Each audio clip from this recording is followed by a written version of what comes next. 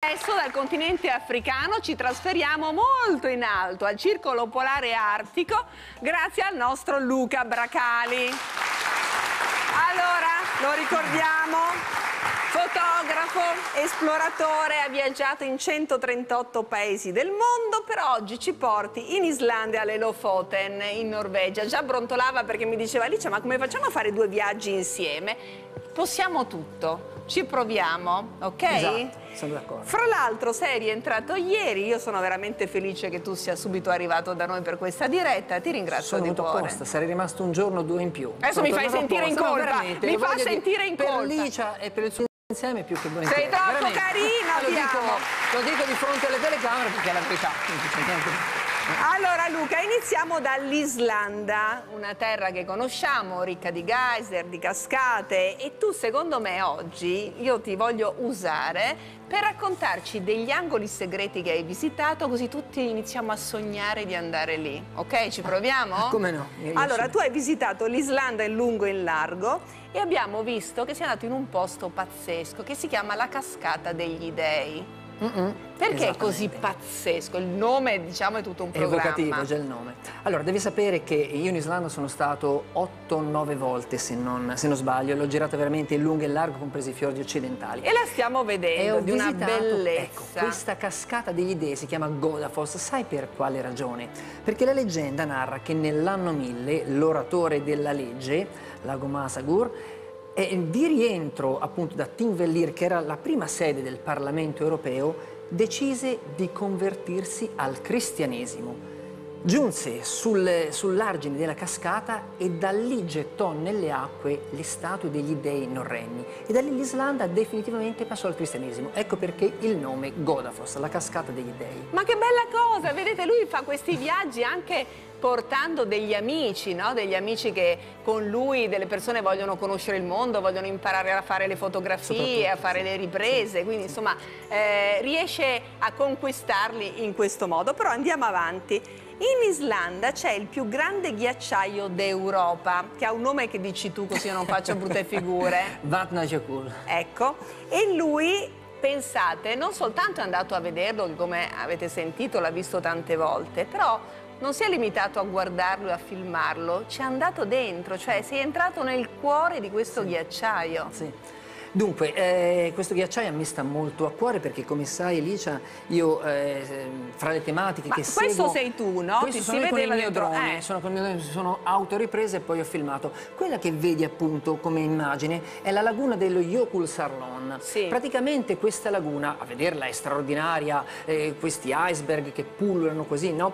Questi ghiacci intensi e colorati, devi sapere che 80 anni fa non esisteva. Eh? Cosa vuol dire? Vuol dire che questo grandissimo ghiacciaio, quindi il Vatnajökull più grande d'Europa, sta man mano arretrando. Ogni anno perde circa 100 metri del suo fronte si è creata questa laguna che ogni anno si amplifica, quindi lo scioglimento dei ghiacci è in realtà appunto un dato di fatto. È una cosa brutta in questo caso, anche se può sembrare bello, esatto, però è esatto. una denuncia che è fatto. È una denuncia che io voglio fare che infatti sono felice che tu mi abbia ospitato di portarla anche in trasmissione perché dietro questa straordinaria bellezza si c'era però, che viene chiamato dai diciamo, tecniche fusione dei ghiacci, noi tecnici la chiamiamo fusione dei ghiacci più che scioglimento dei ghiacci e eh, all'interno di queste grotte del Skaftafell, oltre oltretutto eh, eh, sono visitabili in 4-5 mesi dell'anno, da ottobre a, nove, a mm, marzo, marzo-aprile. Quest'anno a dicembre invece del ghiaccio eh, che ricopriva le cavità appunto della grotta hanno trovato acqua, fiumi di acqua, non sono potuti entrare e anche questa è una denuncia delle temperature che nel nostro pianeta purtroppo stanno crescendo, stanno salendo. Io voglio ricordare che Luca tiene anche conferenze in giro per l'Italia, anche all'estero, dove non soltanto racconta il mondo, ma fa queste denunce che sono molto importanti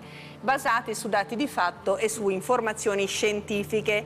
Andiamo avanti. E io invidio una cosa, ne invidio tante di cose a Luca perché appunto ha viaggiato tantissimo, però una in particolare che lui è una sorta di cacciatore di aurore boreali. No, io sono stata nel nord Europa tantissime volte, mai che ne avessi beccata una, dico una, lui ne ha beccate tantissime. Una l'hai presa adesso? Eh sì, certo. Sei un cacciatore, vai con sì. il retino eh. e le prendi. Guardate che spettacolo, guardate che spettacolo. Un cacciatore di aurore boreali. Allora, Ti spiego, io sì, in effetti la definizione è proprio questa. Nel 99, quando mia figlia Sofia, che è qui in studio fra l'altro è, con me, eh, era nata da pochi mesi, sono stato in Alaska e ho fotografato lì la mia prima aurora. Da lì mi sono profondamente innamorato, ho iniziato proprio il mestiere diciamo, di cacciatore di aurore. Le aurore sono, è uno degli spettacoli più grandi che la natura ci offre. Devi sapere che eh, naturalmente vengono prodotte dall'attività solare, un'attività solare che è sempre meno intensa mm. ed è ciclica, ogni 12 anni si ripete, il 2013 è stato il picco e man mano scende, però questa ciclicità sta ahimè sempre più diminuendo. L'aurora si verifica in condizioni particolari di, di, di, quindi di tempesta solare, diciamo attività solare, ma anche di cielo sereno, altrimenti l'aurora c'è, ma le nubi non te la fanno, non te la consentono appunto, eh, non consentono la visione della stessa aurora. Invece sai una cosa, una piccola mm. curiosità, le aurore io, che, che, mi hanno veramente affascinato, chi è stato il primo a vederle, a descrivere da un punto di vista scientifico? Chi è, è stato? È stato un mio corregionale, un pisano. Ecco, te pareva. Eh, beh, però, insomma, eh, diciamola. Galileo Galilei. Eh, vabbè, Galileo, Galileo Galilei, hai detto una persona così. Eh. Ma sai da dove le ha osservate? Da Pisa. Da Roma.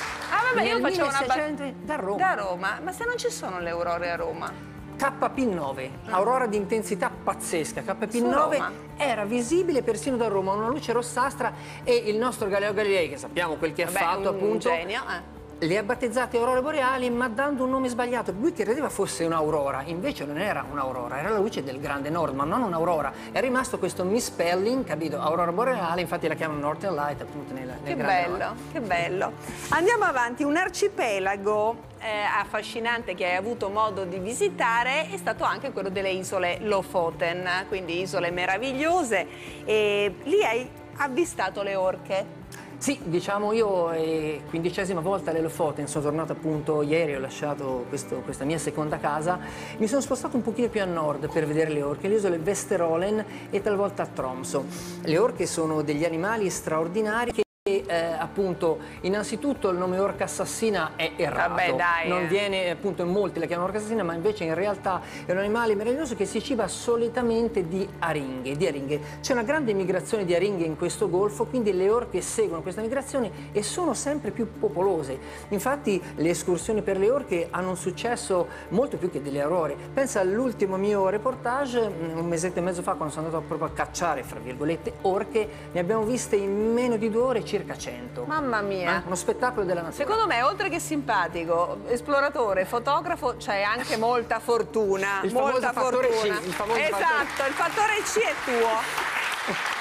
Poi Uh, hai fatto diversi incontri speciali in Norvegia e noi ne abbiamo scelto uno perché nella puntata di oggi parleremo anche del problema dei lupi nel nostro paese, in Italia. Tu sei stato al Polar Park dove hai avvicinato i lupi. Sì. E lì c'è proprio un centro dove il lupo viene tutelato e protetto, anche se sembra quasi una presa in giro, perché adesso in questi ultimi giorni in Norvegia si sta dicendo che si vuole riaprire la caccia al lupo. È vero, ah. è vero, sì purtroppo, sì. Quindi abbiamo intanto delle immagini di questi lupi pericolosissimi. Infatti. Che chi... hanno tentato di ucciderti, come Visto? vedete, un sacco Guarda, di volte. Vedi, vedi? Guarda, Ti uccidevano di baci, i praticamente. I fotografi, vedi? Eh. Ecco, praticamente, infatti mi verrebbe da dire, no? Ma è vero che il lupo è così cattivo? Allora, non demonizziamo questo animale meraviglioso e straordinariamente intelligente. L'intelligenza del lupo me la gioco con qualsiasi altro animale. Forse il delfino comincia ecco, mm. a fare una bella, una bella partita. Ehm, il lupo, se diciamo, avviato ad un processo di socializzazione, come fanno intelligentemente al Polar Park, può essere amico dell'uomo, chiaramente. Ma perché demonizzarlo così e perché iniziare questa politica di abbattimento del lupo? Ci possono essere mille altre eh, strade, soluzioni, vie invece per preservare questa, questa razza. Perché distruggere e uccidere così gli animali? Per esempio recinti elettrificati, ci sono tante altre soluzioni. Rimborsiamo questi pastori che, che, che, che invece vorrebbero attaccare il e lupo. E poi adesso ecco, Luca ne parleremo non... con Andrea. Andrea, ricercatore, esperto di lupi, esperto di olfatto. Quante persone in Italia sono state uccise dai lupi negli ultimi cento anni? Ma penso quasi nessuna, insomma. Ah, nessuna. dici quasi nessuna? Io sapevo eh, proprio zero. zero eh. però, insomma, Vabbè, poi comunque ne parliamo. Io volevo salutare intanto tutti gli amici che sono venuti a, trova a trovarci con te, perché sono eh, protagonisti dei viaggi con te, eh. ma in particolare abbiamo una giornalista americana che vorrei che presentassi tu, ah, perché... Sì? Scrive il tuo ultimo libro, perché continui a pubblicare dei libri meravigliosi fotografici, così la salutiamo. Gina Williams. Ecco, lei parla soltanto inglese, Sì, ma esatto. è venuta dagli Stati Uniti Sì, per te. Portland- Beh, sì, diciamo che è una delle più famose giornaliste e blogger americane, scrive sulle testate più importanti, da Lens Culture, collabora con National, eccetera, ed è venuta a partecipare proprio ad uno dei miei workshop in Islanda, mi ha seguito alle isole Lofoten e si è così innamorata che gli ho detto, bene, a questo punto sarai tu l'autrice del mio prossimo libro sulle isole Lofoten. Ho detto, però a questo punto bisogna chiudere no? il famoso cerchio e non puoi mancare al mondo insieme con Licia Colò per raccontare un'altra storia. del Sei stato viaggio. troppo carino, voglio salutarti con questo RVM dedicato a te, guardate. Ah, addirittura. Dedicato a Luca, alle sue esplorazioni e ai suoi viaggi. Non sapevo...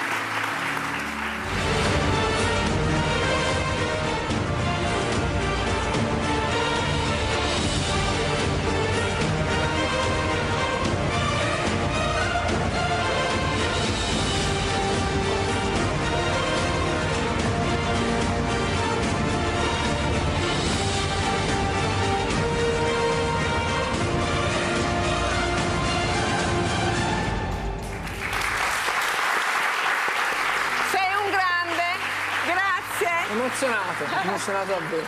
Allora adesso lasciamo il grande